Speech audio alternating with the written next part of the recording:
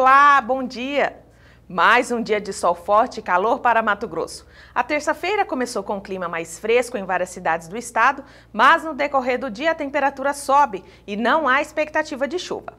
Ao nascer do sol e à noite, Rondonópolis tem registrado temperaturas mais baixas nesses últimos dias.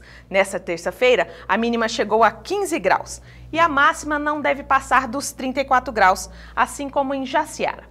Já em Sinop, a máxima esperada é mais alta, podendo chegar aos 36 graus. Na capital, o sol aparece com algumas nuvens e o tempo seco predomina. A máxima será de 36 graus. Em Tangará da Serra, a temperatura vai variar entre 18 e 35 graus. O alerta continua para a baixa umidade do ar, que deve ser registrada principalmente no interior do estado. Tchau e até amanhã!